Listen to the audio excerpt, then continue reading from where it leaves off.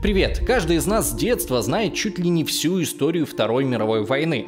Точнее, ту ее часть, которую принято называть Великой Отечественной. Как в 1941 году Гитлер вероломно, без объявления войны, напал на СССР. Советский народ понес огромные потери, но все-таки выстоял. И не за трамвайчик с булочкой, а за родину, за Сталина. Нанес врагу сокрушительное поражение и чуть ли не в одиночку освободил мир от нацизма.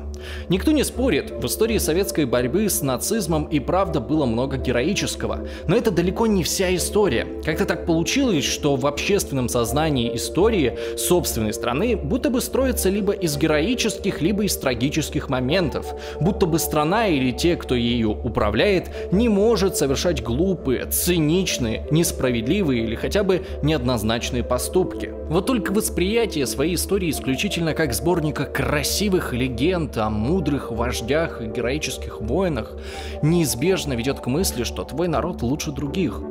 Что все остальные какие-то неправильные, кровожадные и двуличные идиоты – Лишь твоя страна каким-то чудом стала исключением из правил, всегда отличалась каким-то выдающимся благородством и регулярно страдала за свою доброту.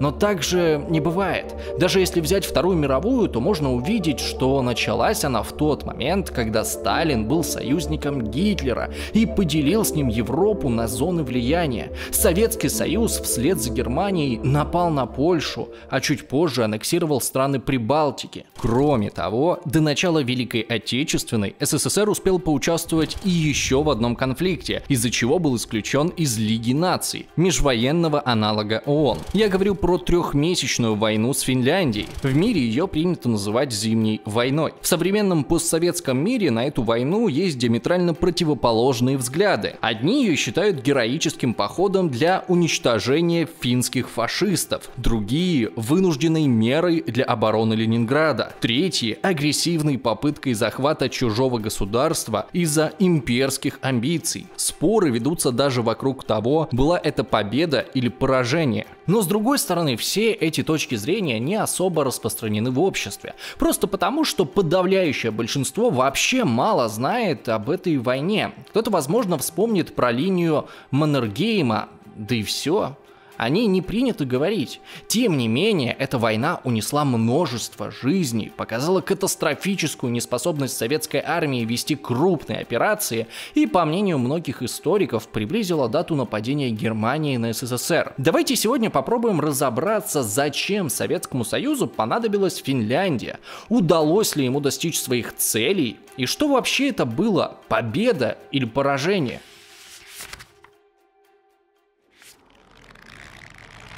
Разведка – залог успеха в любом противостоянии. Во многом из-за провалов советских шпионов СССР не смог оценить защитную линию Маннергейма и безуспешно бился в нее несколько месяцев. Но хорошая разведка – это не только способ добыть ценную информацию, но и умение заместить следы. Раньше этот навык нужен был только профессионалам, а сегодня он стал необходим миллионам самых обычных людей. Государство блокирует сайты и сервисы целыми пачками, поэтому каждый из нас вынужден становиться своего рода разведчиком, чтобы не терять доступ к информации и оставаться на связи с реальностью. А что лучше всего помогает обходить блокировки? Конечно же VPN. Существует десятки подобных сервисов, но я рекомендую вам тот, которым пользуюсь сам. Atlas VPN. Это американский сервис. Он появился в 2019 году, а сейчас им пользуются уже более 6 миллионов человек по всему миру. Atlas VPN надежно шифрует ваши данные и сохраняет высокую скорость соединения. Вы без проблем можете смотреть фильмы онлайн, игры по сети или делать стримы. И, конечно же, обходить любую блокировку. К тому же у Atlas VPN есть еще одна удобная фишка. Он автоматически блокирует рекламу и вредоносные ссылки. И даже предупредит вас, если кто-то захочет украсть ваши данные. Сейчас у Atlas VPN действует самое привлекательное предложение из возможных. По ссылке в описании вы можете оформить трехгодичную подписку всего за 1 доллар 83 цента в месяц и получить к этому еще 3 месяца бесплатно. Еще круче то, что к одному аккаунту можно подключить неограниченное количество устройств. Но обход блокировок это не единственный плюс Atlas VPN. Еще вы можете сэкономить деньги. Как? Ни для кого не секрет, что у многих онлайн-сервисов цена на один и тот же товар и услуги различается в зависимости от региона. Поэтому если хотите сэкономить, скажем, на Netflix, то достаточно взять ваш VPN и сменить регион проживания, например, на Мексику. И вот вы уже отбили деньги, которые потратили на VPN. Короче, если не хотите зависеть от очередных причуд государства и свободно плавать по волнам интернета, то переходите по ссылке в описании и подключайте Atlas VPN. А если вдруг э, передумаете, то в течение месяца сможете свободно вернуть деньги.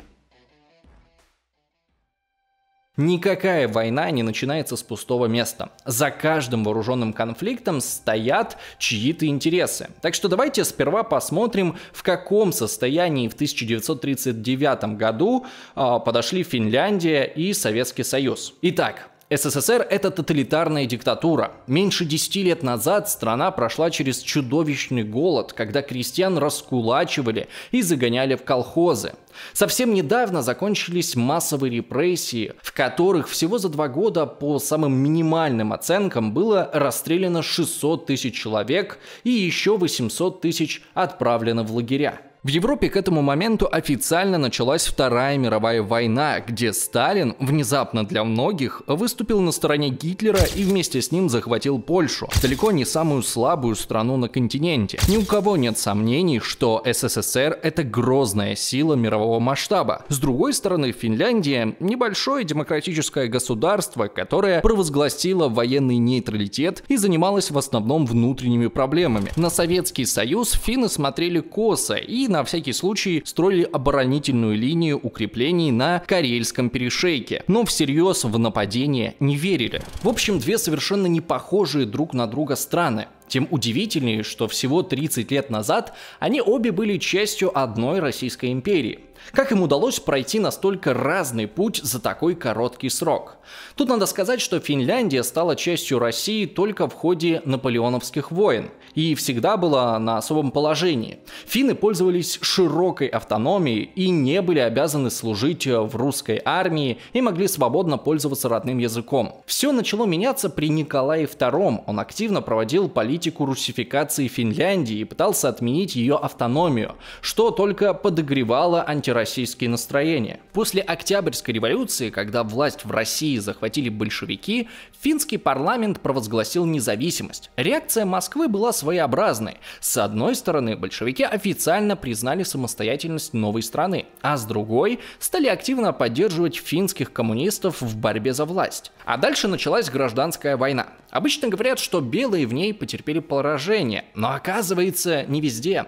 В Финляндии они победили, в основном за счет более опытных командиров под руководством царского генерала и героя Первой мировой Карла Маннергейма – на этом закончилась война, но не конфликт с Советской Россией. Уже тогда Маннергейм приказал начать строить первые укрепления, с которыми в будущем столкнутся советские войска. До 1920 года продолжались приграничные столкновения, пока в финском городе Татру не был подписан мирный договор, который установил границу между Финляндией и Россией точно так же, как она проходила во времена империи. В общем, все остались при своих и каждый пошел своим путем. Кстати, тогда граница Финляндии проходила всего в 32 километрах от Петербурга. В будущем этот факт станет одной из причин войны. Сегодня, когда любители Советского Союза хотят оправдать нападение на Финляндию, они нередко пытаются выставить ее не такой уж невиновной. Напоминают про карательные операции против коммунистов, сотрудничество с Германией и националистические планы восстановить некую великую Финляндию от Швеции до Урала. На самом деле это полная ерунда. Конечно, во время гражданской войны были зверства, но были они с обеих сторон. Тем более гражданская война закончилась 19 лет назад. Как-то поздновато вы решили отомстить за жертв белого террора. Сотрудничество с Германией продолжалось до немецкой революции. То есть это был очень короткий промежуток времени с 1917 по 1918 года. В межвоенный период Финляндия Финляндия придерживалась нейтралитета, а в пакте Молотова-Риббентропа она прямо указывалась как входящую в зону влияния Советского Союза. То есть у Гитлера никаких планов на эту страну не было, и даже во время войны он не снабжал ее оружием, в отличие от англичан и французов. Но про Великую Финляндию вообще смешно. Действительно, такие идеи захватывали определенную часть финского общества, но они никогда не были особо популярны, и уж тем более о Великой Финляндии не мечтал никто из руководителей страны. Эти идеи продвигало патриотическое и националистическое движение Лапуа, но его высшим политическим достижением было 14 мест в парламенте из 200. А в 30-х годах с ростом уровня жизни все радикальные идеологии стали терять сторонников. Премьер-министр Айма Кяйндер прямо заявлял, что Советский Союз никогда не нападет на Финляндию, поэтому не стоит тратить большие деньги на армию. Так что к началу Зимней войны Финляндия не была ни националистической, ни воинствующей и не сотрудничала с Гитлером. Более того, в 1932 году между СССР и Финляндией был подписан договор договор о ненападении – в общем, Сталин руководствовался совсем другими мотивами, когда готовился к войне. Во-первых, он считал несправедливым, что в Финляндии коммунисты потерпели поражение и продолжал видеть эти земли как законную собственность России. Во-вторых, как я уже говорил, финская граница проходила слишком близко от Ленинграда.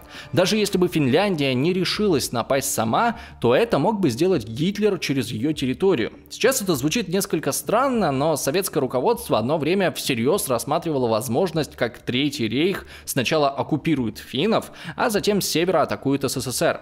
Во всяком случае, так было бы до того, пока Сталин сам не заключил с Гитлером пакт о ненападении. Советско-финские переговоры о пересмотре государственной границы начались еще в 1938 году, но в полную силу вошли только через год, уже после оккупации Польши.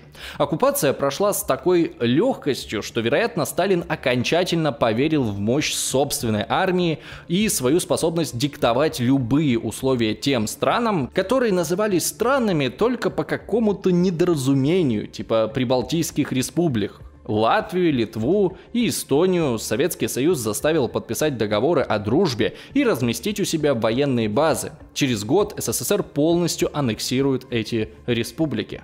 От финских дипломатов тоже никакого сопротивления не ожидалось. Хрущев писал в мемуарах, как перед войной на совещании в Кремле Сталин заявил «Давайте просто начнем, и финнам останется только подчиниться. Если же они станут упорствовать, то сделаем только один выстрел, и финны сразу поднимут руки и сдадутся». Советское предложение включало в себя 8 пунктов, но можно выделить три основных.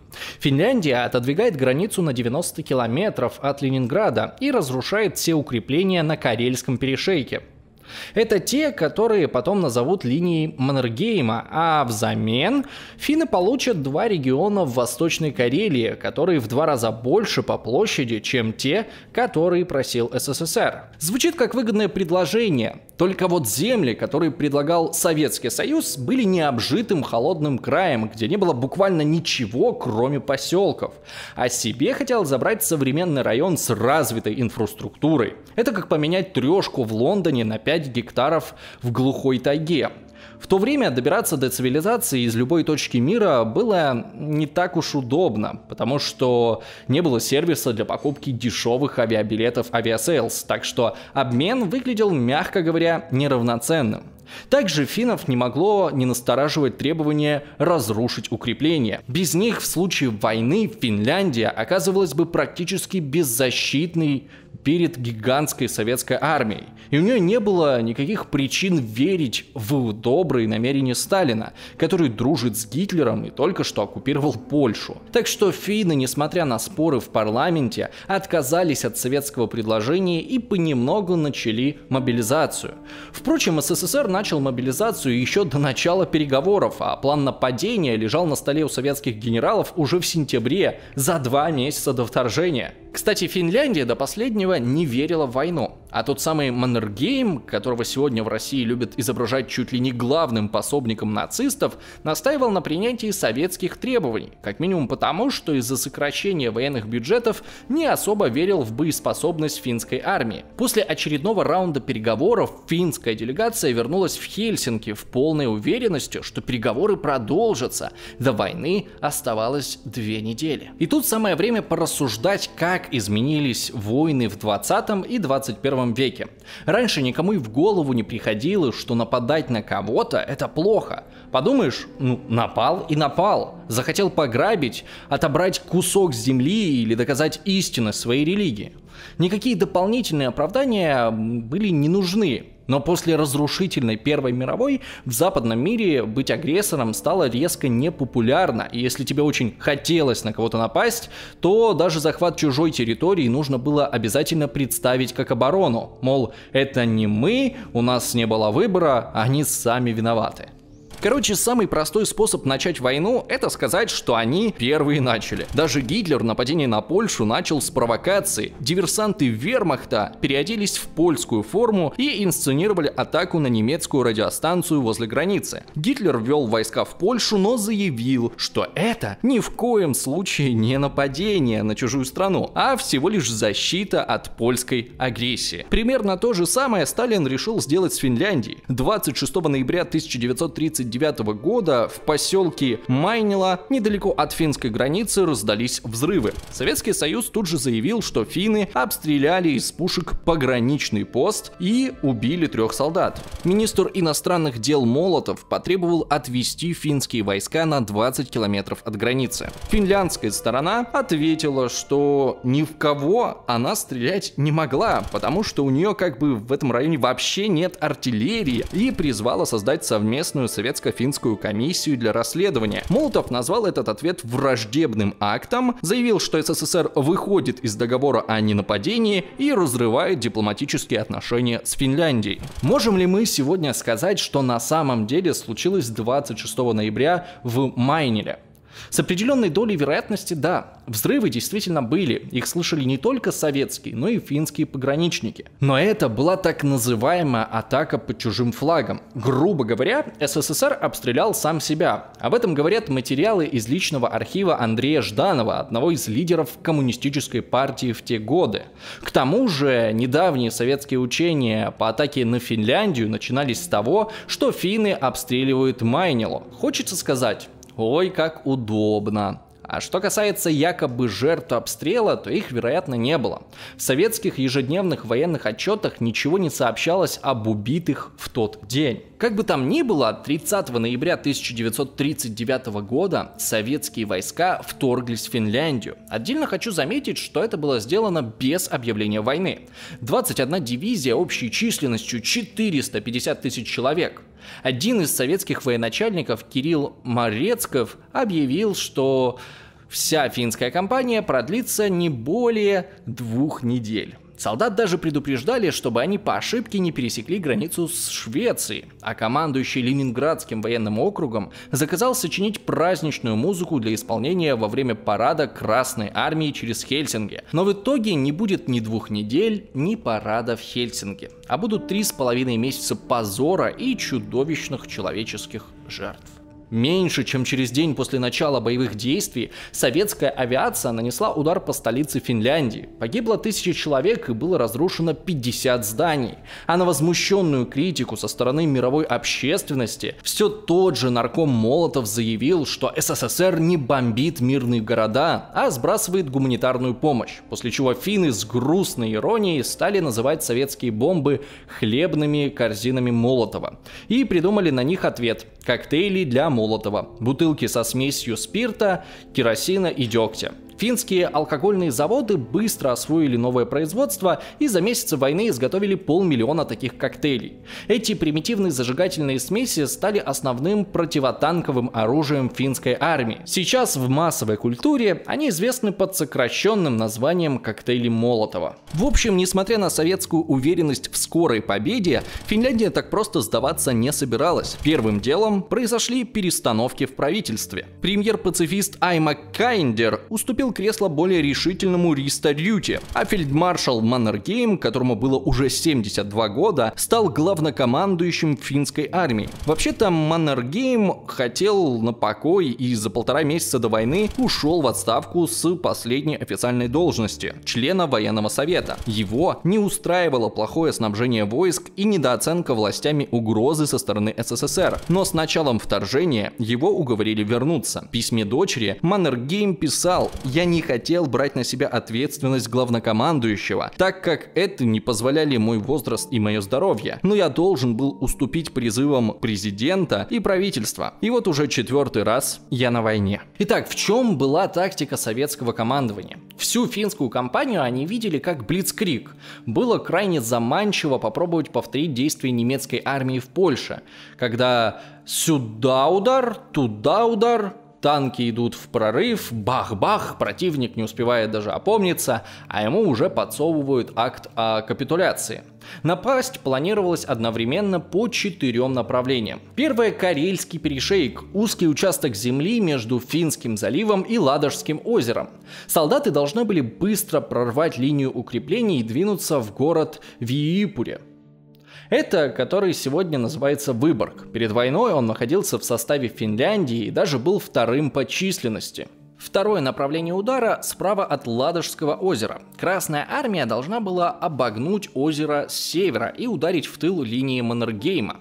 Третье – через центральную Финляндию быстрым маршем пойти напрямую до Ботнического залива, чтобы разрезать страну напополам. И, наконец, четвертое – на крайнем севере планировалось захватить единственный финский порт в Баренцевом море и дальше вдоль шведской границы двинуться на юг к городу Рованами.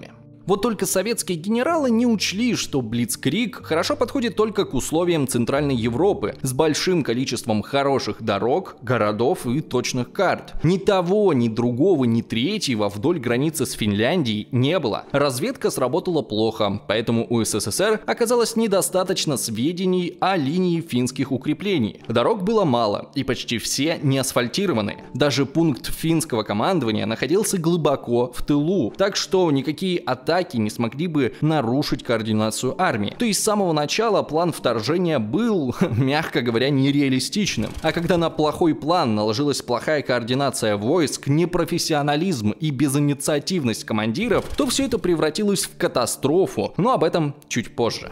В общем, если с тактикой мы разобрались, то давайте попробуем разобраться с целями войны. Чего конкретно хотел Сталин? И вот тут до сих пор ведутся споры.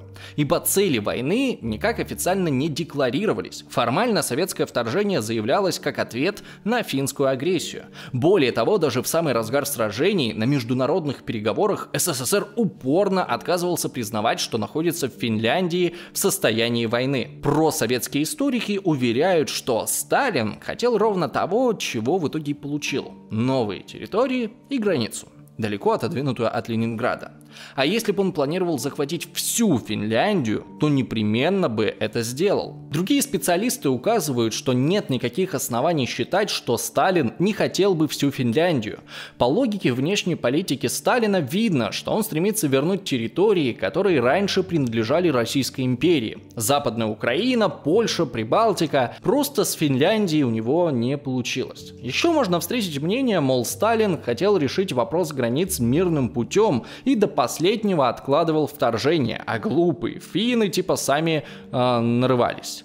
Но тут важно понимать, что мирное решение для Сталина – это создание в Финляндии социалистического режима. То есть даже если СССР и не стремился включить всю Финляндию в свой состав, то как минимум планировал установить там марионеточное правительство. Естественно, под предлогом массовых просьб трудящихся, как потом и произошло в Прибалтике, где население в едином порыве внезапно проголосовало за коммунистов.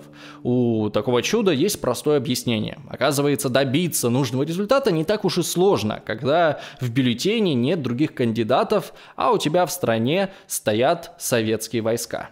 Кстати, о марионеточном режиме. Важным аргументом в пользу этой версии является то, что уже через день после начала войны появилось некое народное правительство Финляндской Демократической Республики. Главой этого правительства по волшебному совпадению оказался коммунист Отто Кусинин, один из главных идеологов мировой революции, который уже 18 лет безвылазно жил в России. 2 декабря прошли так называемые переговоры так называемого народного правительства со Сталином, после которого был подписан договор о дружбе и взаимопомощи. После чего СССР вообще отказался считать настоящим финским правительством то, которое сидело в Хельсинки. Это, кстати, было одним из аргументов Советского Союза, что он, мол, не воюет с Финляндией. Типа, какая война? Вы о чем? Вы посмотрите, у нас же договор о дружбе. Самый настоящий, честно-честно. И какое такое правительство в Хельсинки? Да нет там никакого правительства. Все министры сбежали. Так что мы не воюем, а лишь восстанавливаем конституционный порядок и уничтожаем небольшие группы националистов и белофинов. А сам Отто Куусинин заявлял, что ему доверена честь водрузить знамя Финляндской Демократической Республики на президентский дворец в Хельсинки. Так что с высокой долей вероятности можно утверждать, что если бы война прошла по плану Сталина, то Финляндию превратили бы в Советскую Республику. Чтобы настроить общество на победный лад, перед началом следующего рабочего дня на всех предприятиях Советского Союза прошли добровольно-принудительные митинги трудящихся в поддержку освободительного похода на Финляндию. Газета «Правда» приводила цитату простой работницы, которая выражала уверенность, что Красная Армия скоро вызволит финских братьев из белогвардейского ада, в котором они томятся вот уже 20 лет. Итак, 30 ноября на одном только Карельском перешейке 130 тысяч финнов противостояли вдвое большей советской армии. Причем дело было не только в численности, но и в технике. Перед началом войны СССР собрал около границы полторы тысячи танков, а у Финляндии вообще на всю страну было только 64 танка. Тем не менее, несмотря на гигантское превосходство, Красная Армия к одной только линии Маннергейма шла целую неделю, хотя против нее сражалось всего 21 тысяча резервистов и пограничников без тяжелого вооружения. Любимой тактикой советских генералов была лобовая боевая танковая атака, но из-за непроходимой местности танки часто застревали и не могли атаковать широким фронтом. Кроме того, поначалу никто не думал, что танки, оказывается, нужно защищать пехотой, так что финны легко подбирались к ним на близкое расстояние, ломали гусеницы и поджигали коктейлями Молотова. В таких приграничных боях СССР потерял 80 танков. А в это время основная часть финской армии заканчивала укреплять линию Маннергейма. Вообще линия Маннергейма – важный символ всей советско-финской войны, поэтому давайте поговорим про нее подробнее. Во-первых, до войны ее никто не называл линией Маннергейма. Название впервые родилось уже во время сражений благодаря финским газетам – во-вторых, она была далека от завершения. Всего начиная с 20-х годов финны построили 221 опорный пункт вдоль Карельского перешейка. Но опорный не значит укрепленный. Даже самый защищенный участок линии имел только один железобетонный бункер на километр. В основном линия состояла из обычных траншей и легких полевых укреплений. А еще там практически не было артиллерии. Вообще, после Первой мировой создание неприступных оборонительных линий было в моде. Линия Мажино во Франции, линия Зигфрида в Германии, но по сравнению с ними финские сооружения выглядели как домик из соломы рядом с каменным замком. Достаточно сказать, что на всей линии Маннергейма было 100 бетонных бункеров, а на таком же по длине участке линии Мажино бункеров было 5800, которые к тому же были связаны подземными железными железными дорогами и обвешаны пушками по самую крышу. Тем не менее, финны удачно использовали местность и тактику так называемой гибкой обороны, когда по основным направлениям возможных танковых ударов ставились противотанковые заграждения, а за ними шла сложная система из рвов, траншей и колючей проволоки. В таких условиях советские солдаты были вынуждены атаковать окопы в лоб без поддержки бронетехники, словно в Первую мировую, и с таким же результатом. Но еще раз повторю, линия Маннергейма не была такой уж неприступной, а неудачи Красной Армии в основном объясняются не силой финских укреплений, а плохим командованием. В первый месяц войны, чтобы как-то объяснить унизительное поражение, советская пропаганда создала миф, что линия Маннергейма это какое-то выдающееся защитное сооружение и что она сильнее линии Мажино. С тех пор этот миф вошел в советскую историографию и долго не подвергался критической оценке. Тут я еще хочу добавить, что даже если бы линия и правда была непреодолимой, то по идее все равно не должна была стать для Советского Союза большим препятствием. Напомню, что СССР напал на Финляндию сразу с четырех направлений, а линия Маннергейма защищала только одно из них. Если бы Красная Армия в Ладожской Карелии выполнила свою задачу и вышла в тыл финским войскам, то никакая даже самая укрепленная оборона их бы не спасла. Это еще один аргумент в пользу того, что причиной советских поражений была вовсе не линия Маннергейма, во всяком случае не она одна. Советская армия подошла к линии 6 декабря, имея двухкратный перевес в живой силе. Артиллерия 40 часов обстреливала финские позиции, но, судя по всему, ни по кому особо не попала, так как била по площадям. Из-за отсутствия нормальной разведки советские командиры плохо представляли, где находятся основные огневые точки финнов, а потому в первой же атаке бросили пехоту прямо на пулеметы. Следующие две недели прошли в том же духе. Красная армия без какого-либо успеха упрямо шла в бесконечные лобовые атаки, теряет тысячи людей и десятки танков. Кстати, один раз танковый взвод все-таки сумел пробить брешь в укреплениях и ушел в прорыв, но без поддержки пехоты танкисты потерялись в карельских лесах, наугад тыкались финские доты и в конце концов были полностью уничтожены. Но если на карельском перешейке у финнов хотя бы были укрепления, то чем можно объяснить неудачи на других направлениях? Опять же, тут несколько причин. Для примера примера давайте возьмем продвижение советских войск на севере Ладоги. Там у Красной Армии было 90 тысяч солдат против 30 тысяч у финнов. И тоже огромное преимущество в технике. Но несмотря на это, Ладожское направление стало самым неудачным для СССР. Советская армия быстро уткнулась в реку Кола и простояла там всю войну в безуспешных попытках прорвать оборону. Во-первых, важную роль опять сыграло плохое советское командование. Часто красноармейцы атаковали финские позиции без разведки и артиллерийской поддержки поддержки. В другой раз целый день потратили на то, чтобы обстреливать пустой холм, с которого финны давно ушли.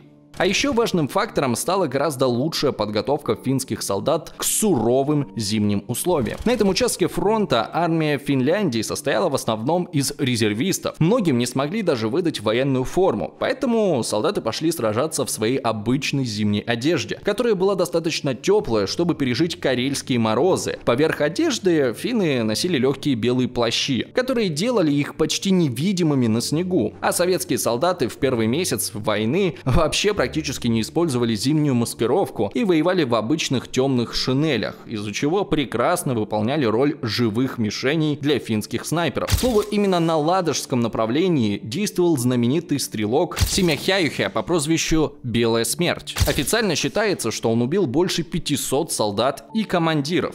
Также советская форма не давала защиты от холода. В армии не было нормальных зимних палаток, из-за чего красноармейцы были вынуждены ночевать в импровизированных укрытиях. Еще до пересечения границы потери от отморожения в некоторых частях доходили до 10%. По подсчетам историка Григория Кривошеева, за три месяца войны Красная армия потеряла заболевшими и обмороженными 61 тысячу солдат. Лучшая подготовка и обмундирование позволили финнам по максимуму максимуму применять тактику партизанской войны.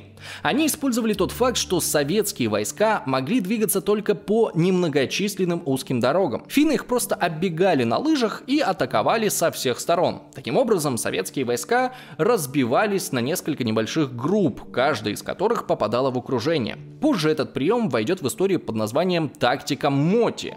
Успех подобных атак заключался еще и в том, что многие финские стрелковые части были вооружены пистолетами-пулеметами, в то время как красноармейцы могли рассчитывать только на винтовки.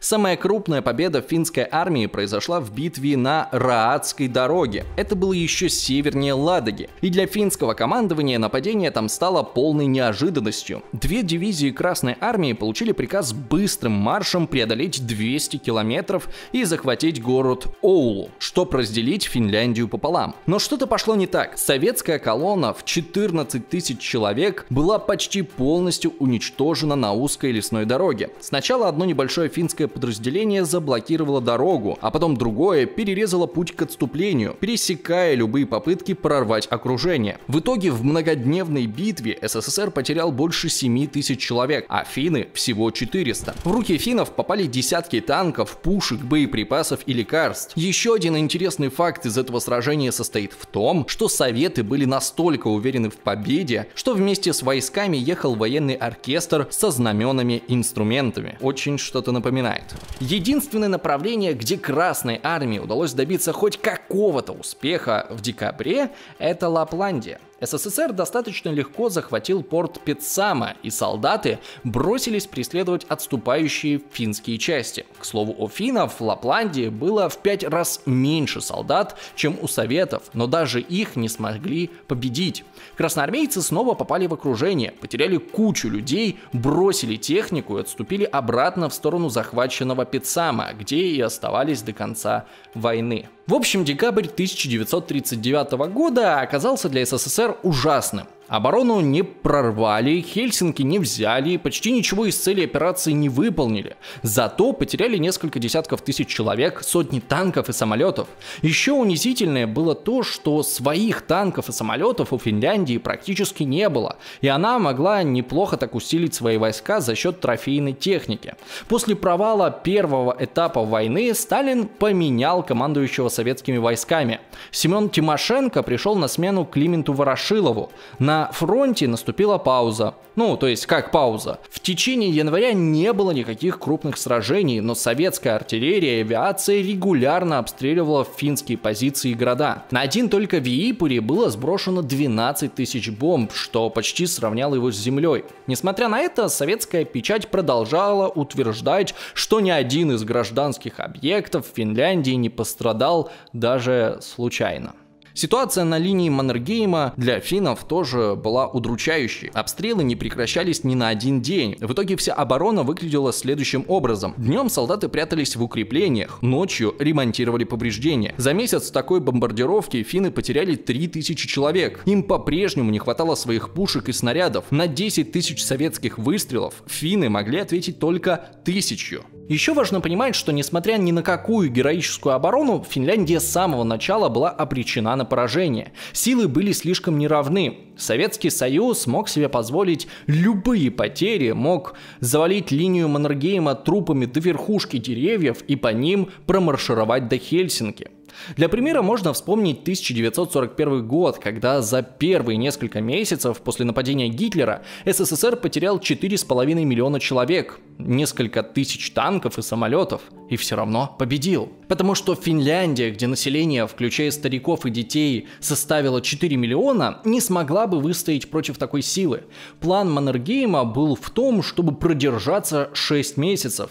И за это время в войну должны были вступить Англия и Франция. Заметьте, не Гитлер. Международное общественное мнение в основном было на стороне Финляндии. Многие европейские страны отправляли финнам военную и гуманитарную помощь. Британия поставила 75 самолетов, а Франция 30. Также на стороне Финляндии воевал добровольческий корпус из Швеции. Это примерно 8 тысяч человек. Среди добровольцев даже был молодой английский актер Кристофер Ли. Правда, непосредственно в боях он не участвовал. Но всего этого было недостаточно, тем более перед лицом решающего советского наступления.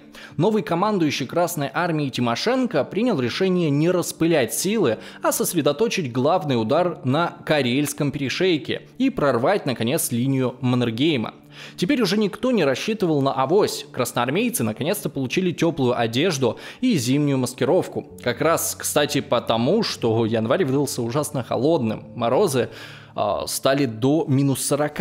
В Ленинградской области были построены макеты финских укреплений, и солдаты каждый день отрабатывали их захват. В спешном порядке СССР освоил выпуск своих пистолетов-пулеметов и вооружил ими основные штурмовые отряды. Наконец-то было налажено взаимодействие между разными родами войск. Танки теперь не оставались без защиты пехоты, а пехота не бежала плотным строем на пулеметы и колючую проволоку. К 11 февраля СССР собрал на Карельском перешейке огромный огромную армию. 460 тысяч человек, 3000 танков, 1300 самолетов и больше 3000 орудий против 150 тысяч финнов. Новая атака началась с мощной артподготовки, которая длилась 10 дней, без пауз и перерывов. Затем Красная Армия пошла на прорыв, им удалось пробить бреши в двух местах, и 15 февраля Маннергейм приказал отступать на запасную линию обороны. 5 марта советские войска продвинулись еще на 15 километров километров и вплотную подошли к Виипуре. Для финнов положение стало критическим, и они запросили перемирие. Через два дня финская делегация прибыла в Москву для переговоров.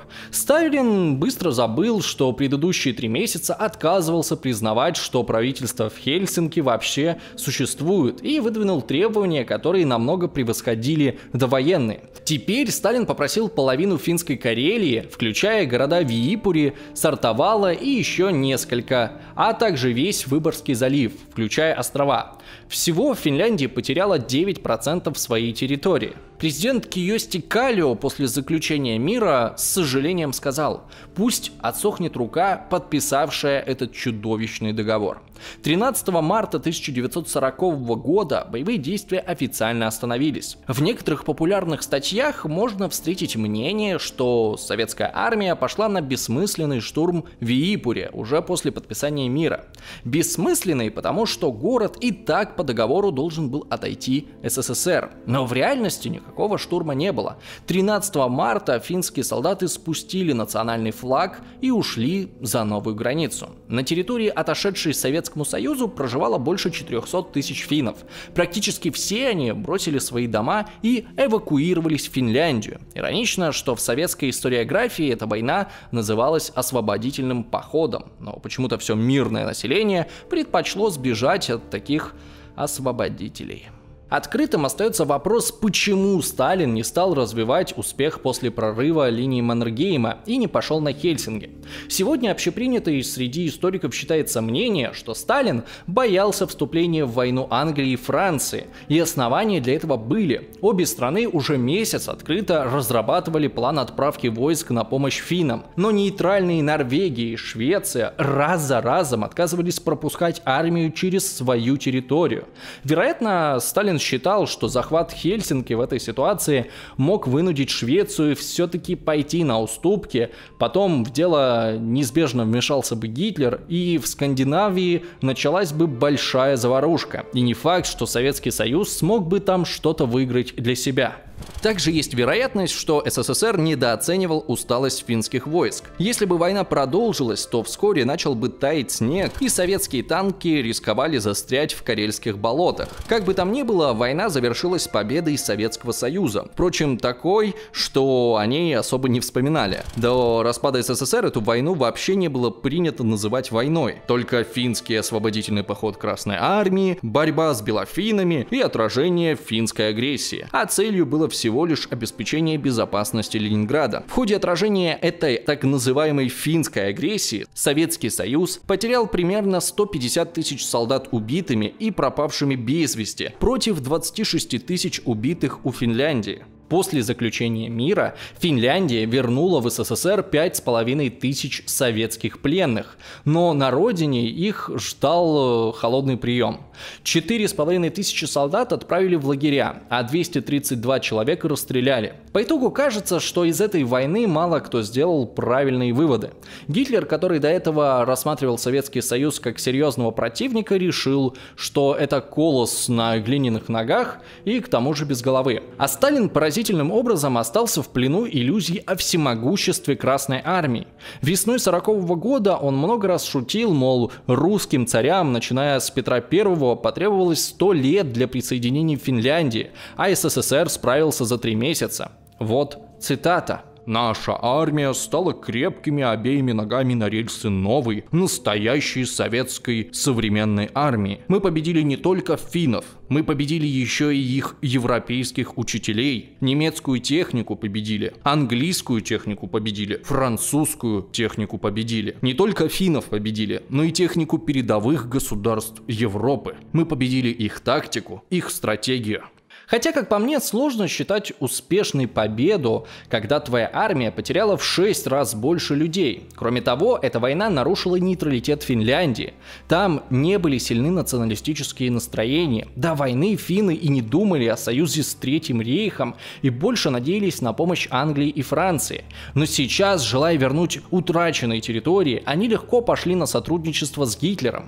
Это сказалось и на судьбе Ленинграда. Сталин напал на Финляндию, чтобы защитить город, но в итоге сделал так, что финны приняли самое прямое участие в его блокаде. А если бы Финляндия так и оставалась нейтральной, то немцам не удалось бы окружить Ленинград чисто по географическим причинам, и десятки тысяч людей не умерли бы от голода. Впрочем, история не имеет сослагательного наклонения. Что сделано, то сделано. Жаль только, что эта война даже сегодня практически никак не осмыслена российским обществом. Не в том смысле, что о ней много мифов, а в том, что они просто очень мало знают. Типа, ну да, была такая война, линия Маннергейма, суровые морозы, но мы в итоге победили и дали финнам по зубам. А чё? Так им и надо. Нефиг было с Гитлером сотрудничать. Но надеюсь, после этого ролика вы убедились, что все было далеко не так просто. И кто не знает своей истории, рискует ее повторить. Спасибо за просмотр, надеюсь вам понравилось, вы поставите лайк и напишите какой-нибудь комментарий для продвижения этого видео. Также не забывайте подписываться, здесь вас ждет еще много интересных роликов на спорные исторические темы. А если вы можете и хотите поддержать наш канал деньгами, то в описании есть ссылка на Patreon и Boosty и криптокошельки. Кроме всяких приятных бонусов, спонсоры канала могут голосовать на тему следующего видео. Ну и как обычно, я хочу поблагодарить тех, кто уже помогает нам на Патреоне и Бусте. Это Влад, Сергей Владимиров, Владислав Яковлев, Николай Грищенко, Водолей, Алексей Суис, Артем Буйлук, Юлия Вильянин, Денис Романов, Владимир Тихарь и 33 шальных узбека и вот эти замечательные люди. А также не забывайте подписываться на наш телеграм-канал, где мы публикуем фильмы, которые использовали в видеоряде, ну и в целом чуть ближе общаемся с аудиторией. Также приходите а, на прямые эфиры, которые обычно проходят в конце месяца. Ну и если хотите, подписывайтесь а, на мой личный инстаграм. А, с вами был Заяц и компания. Всем спасибо, всем пока. Нет молотов, нет молотов. Valehtelit enemmän kuin itse Bobrikov. Thank you.